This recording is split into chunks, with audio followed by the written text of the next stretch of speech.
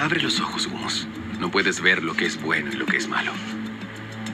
Pero no te preocupes. Todo va a cambiar, Humus. Las cosas van a cambiar.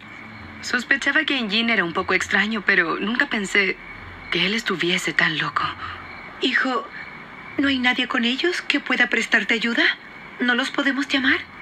No, mamá, nadie. No debes alarmarte. Quizás el avión esté retrasado y no recordaron avisarte. Gumus no olvidaría algo así. Es verdad. Ese tipo de cosas no lo olvidaría, Gumus. Quizás alguno de los invitados se enfermó. Y si es así, tendría que cuidarlo, claro. Claro, claro, todo es posible, no hay que alarmarse. No, señor Fikri, no. No estaré nada bien si mi niña está mal. Ay, no sea negativa, abuela. Debe haber perdido su teléfono. ¿Seguro que lo olvidó? Llamará.